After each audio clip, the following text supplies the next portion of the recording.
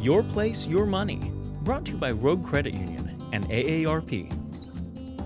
Welcome to Your Place, Your Money, joined again by Rogue Credit Union CEO and President Gene Pelham. Good to see you, sir. Thank you. Thanks for coming. So, we're talking about student loan refinancing. Student debt, of course, a huge problem, and rates aren't as good as they used to be.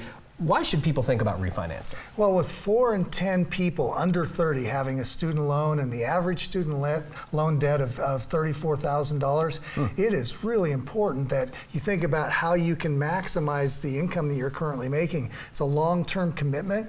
And so if you refinance it, you could probably maybe lower your payments, lower the overall cost of the debt if you can get that lower rate or stretch it out a little bit. So those are some of the pros of being able to do it as you uh, create a little bit more money right now uh, so that you can have a better um, quality of life. Sure, okay, but of course it's not for everybody. What are some of the cons with refinancing? Well, the real the real challenge ultimately is if you refinance is you might lose some of the federal forgiveness program capabilities or some of the refinancing options from a federal perspective.